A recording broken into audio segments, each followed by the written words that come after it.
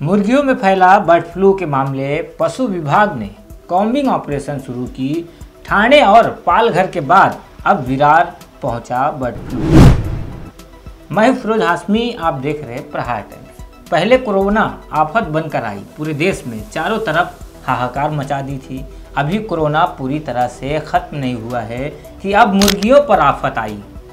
पिछले कई दिनों से बर्ड फ्लू का मामला सामने आ रहा है। पहले ठाणे ज़िले के शाहपुर गाँव वेहलोली पोल्ट्री फार्म में 300 मुर्गियों की मौत हो गई थी, जिसकी जाँच में बर्ड फ्लू होने की पुष्टि की गई और फिर पालघर में सामने आया। अब मुंबई से सटे विरार इलाके में बर्ड फ्लू का मामला सामने आया। पिछले कुछ दिनों से विरार के अरनाला और बटार इलाके में मुर्गियाँ अचानक मरने लगी। सैंपल की जाँच की गई तो बर्ड फ्लू की बात सामने आई।